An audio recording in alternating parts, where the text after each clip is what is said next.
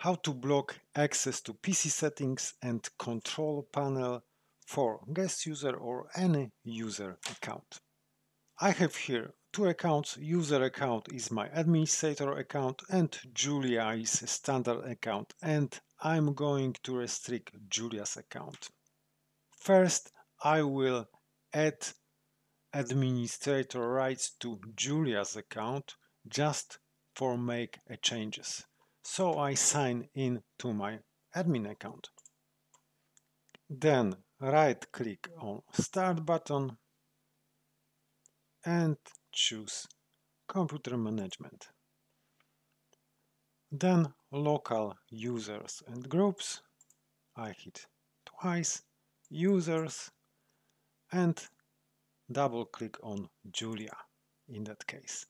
And member of, I will add administrators.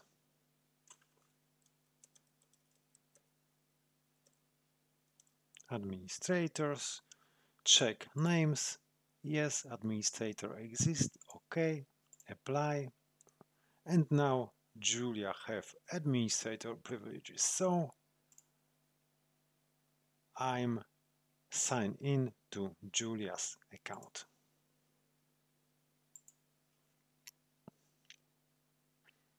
Right click on Start button, hit Run, and then type gpedit.msc. Hit OK. So now I'm going to make changes on account I want to block access to settings and control panel. So user configuration, administrative templates, then control panel, and here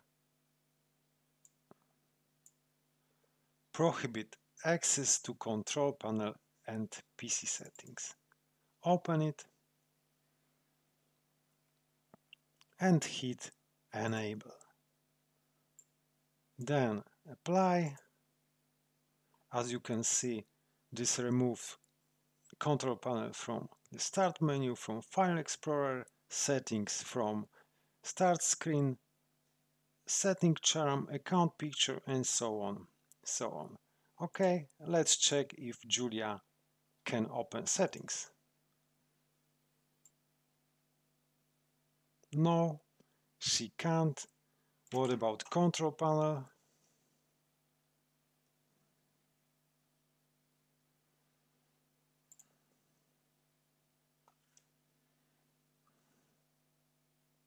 Again, she can't, there is a restrictions.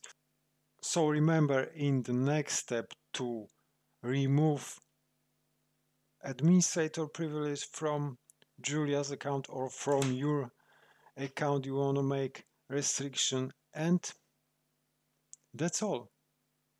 I hope tutorial was useful. Leave a comment, please subscribe my channel and thank you for watching.